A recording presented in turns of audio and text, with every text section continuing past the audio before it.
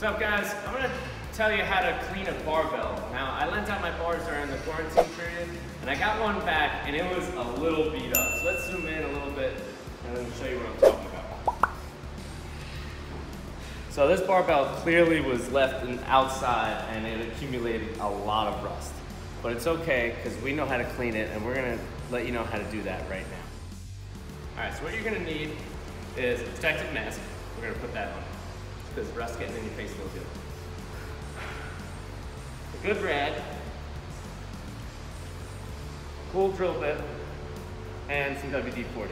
This one is the rust release Penetrant spray. All right, what we're gonna do, first things first, we're gonna spray that red. That down. We give a good wipe down on this bar. Let it sit there for a good minute.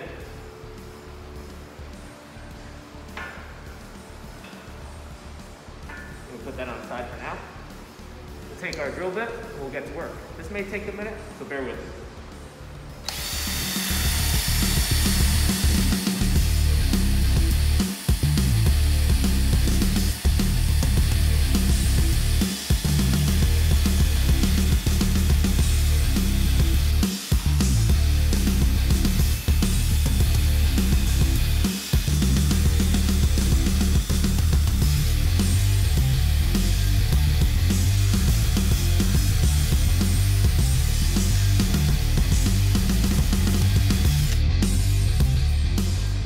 Right. Did about half the bar, and you can see the difference between this side and that side where I haven't done there. So it took a little bit of time, but with a little bit of uh, patience, you can have a nice shiny barbell. It won't be perfect, unless you can get all in there. It'll be a lot better than what you got back from that garage.